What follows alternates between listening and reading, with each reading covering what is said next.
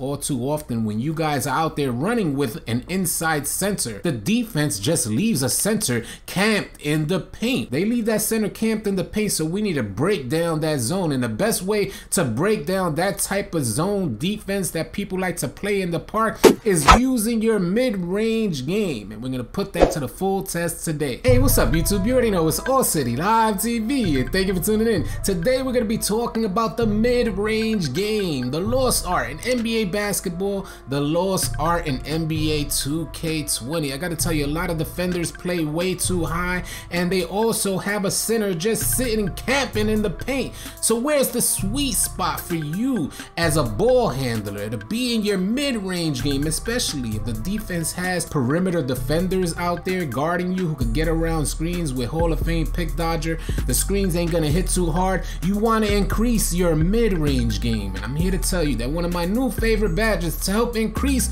my mid-range game is the stop and go badge. I have a, a ball handler with a high amount of ball handling, a high amount of speed, 99 speed, 99 acceleration. So it's real easy for me to get past a defender. But what's the sweet spot for me is that mid-range game, right dead in the middle while the center is dead in the paint and I already passed the perimeter defender. I'm right at the foul line and I take that mid-range shot and the stop and go badge is what's gonna help you guys out there. I gotta tell you so many benefits I've learned from the stop and go badge, a badge that I was so intrigued by from the beginning of the year. I wanted to make this badge work for me, but I didn't know how. And so many people were telling me, you got to equip the stop and go badge. It helps you shoot better, helps you stop quicker, helps you set your feet quicker.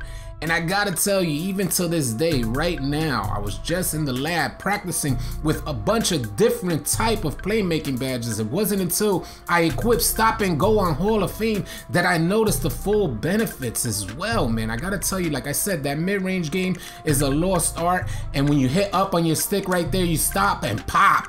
It's just like that. And that's gonna be so it's going to be such a determining factor for your offense.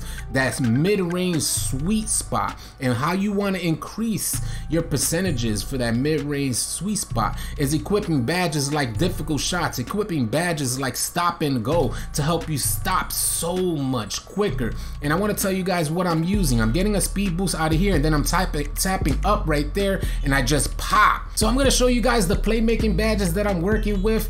And here's what we got. Stop and go on Hall of Fame, tight handles on Hall of Fame, Space Creator on gold, and Ankle Breaker on bronze. Now I'm trying this out, which you guys are gonna see in today's live stream to see how it works out. I really wanna make my mid-range game work to my team's benefit. And the way I'm gonna do that is with this setup for my playmaking badges. So if you guys wanna see what we're doing out there with this type of setup in our playmaking badges, come on through to our live stream. We live stream on five different platforms simultaneously every single day. That's Facebook, Mixer, Twitch, D Live, and also right here on YouTube. We would love to have you guys come out if you guys want to see how these playmaking badges work, or if you guys got questions about badges or builds, come on through. We would love to have you come on out. I'm really gonna be working that mid-range today. That's the goal for today's live stream is making that mid-range work to my team's benefit. We want to split the defense, leave that center camping in the paint because all too often when you guys are out there running with an inside center,